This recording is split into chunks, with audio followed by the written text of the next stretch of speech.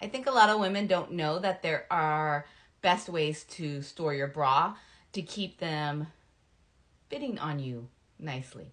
So with molded bras, you know how in the store, um, if they have them not hanging but on a display, they're usually like this, you know, several bras stacked on top of each other.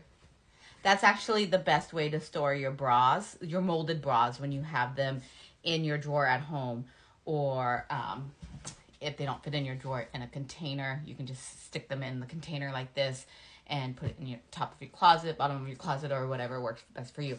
But the reason for this is a lot of people will take their bras. I'm gonna do it on this one. They'll they'll take their molded bras, and when they go to store them in their drawer, they push one cup into the other like this, and they store it, and they might go like that and flatten it. Well, what happens? See how it's all wrinkly like that?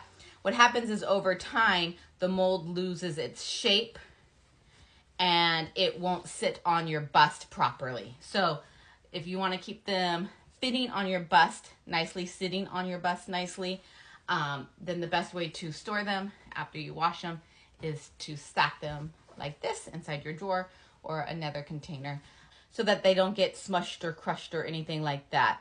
And I'm full of bra caring tips, so if you've got a question, let me know in the comments.